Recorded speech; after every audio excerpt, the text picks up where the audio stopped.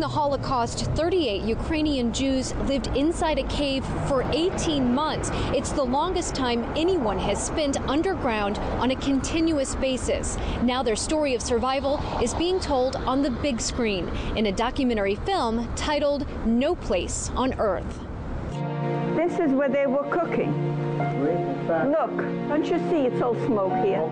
Filmmakers brought four of the survivors back to southwestern Ukraine to visit the cave that saved their lives. Producer Raphael Marmor says it's the first time any of them had been back since fleeing the country 67 years earlier. Going back there really for the first time to um, you know, to, to, to see this cave and to kind of thank the cave and um, to revisit it was for them um, just amazingly emotional, and for us, us similarly so. There were two caves the families hid inside.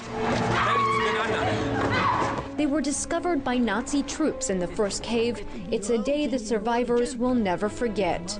And my mother right away stood up and said to the kids, hide any place you can. The film depicts the family's constant fear and shows what they did to survive for more than 500 days underground. The families generally looked out for themselves. I think they realized pretty quickly that that was the only way that the scenario that it was going to work. That each family had their own representatives who would go out and they would, you know, procure food and supplies, but only for that specific family. Marmor says the families would only light a candle for a few minutes each day. They felt safe only in the dark that was their comfort. And then at the end of the film, you know, there's that very nice scene where they say, turn off the lights. And then, you know, Sam says, ah, now I feel at home.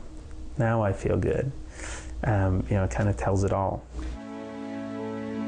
Let's close all the lights for a minute.